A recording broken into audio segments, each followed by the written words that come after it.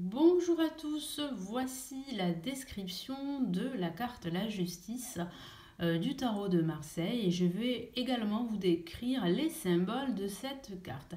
N'hésitez pas à consulter les autres vidéos que j'ai réalisées sur les euh, cartes majeures et euh, avant de commencer je souhaitais, vous remercier, je souhaitais vous remercier par rapport à vos messages, à vos retours sur ces vidéos courtes semblerait que ça vous plaît et ça vous aide. Donc moi, ça me fait énormément plaisir.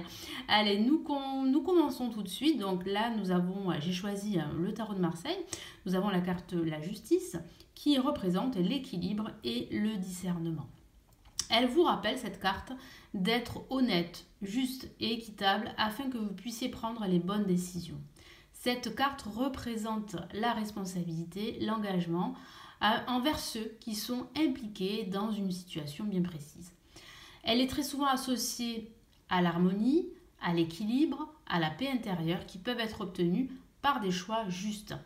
La carte de la justice signifie euh, très souvent une résolution positive à un conflit ou à une prise de décision difficile.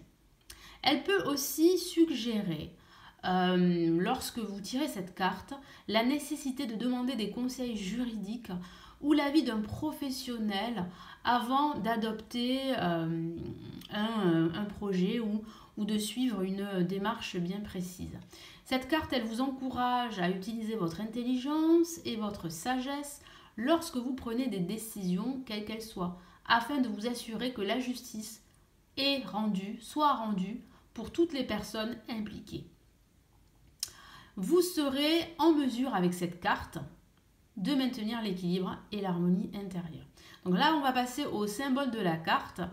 Euh, alors, un petit instant, j'ai le smartphone qui euh, bouge.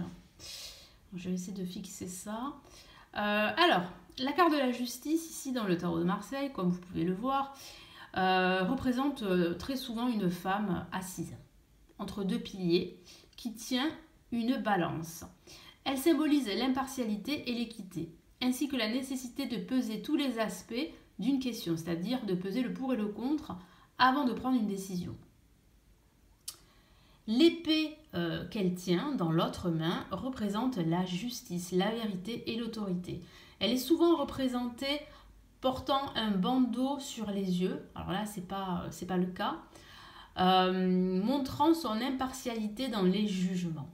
Les piliers des deux côtés représentent la force, la structure et la stabilité. Et le chiffre 11, ici, que vous voyez, représente euh, euh, ou fait référence plutôt, oui, représente l'équilibre et la justice.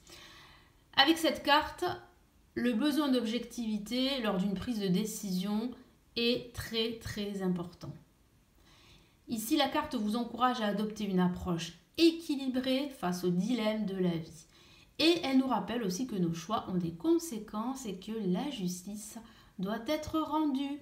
Voilà pour cette carte, donc j'espère vraiment que ça va vous aider euh, et ça va vous éclairer sur cette nouvelle carte, la justice que nous avons euh, explorée ensemble. Si vous souhaitez aller plus loin, vous avez toutes mes formations pour apprendre le tarot, que ce soit les 22 cartes majeures, que ce soit les cartes mineures, euh, euh, et, j'en passe. Vous avez aussi les formations solo. Si vous souhaitez plutôt apprendre une seule carte à la fois, vous pouvez le faire. Tout est en dessous euh, de la vidéo ou au-dessus de la vidéo. Merci pour vos retours, pour vos partages également. N'hésitez pas à partager la vidéo. Et je vous retrouve dans une prochaine vidéo.